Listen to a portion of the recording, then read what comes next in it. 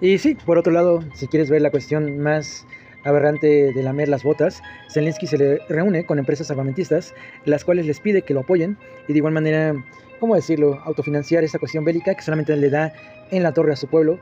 Pero pues, hostias, ¿qué, ¿qué, podemos esperar de alguien que está unido a Estados Unidos, a Biden, negocios de Hunter Biden de su hijo, y obviamente Kamala Harris va a vincular esto.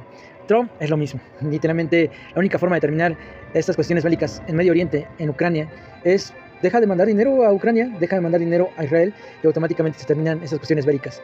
Pero no, siempre la doble moral de los conservadores.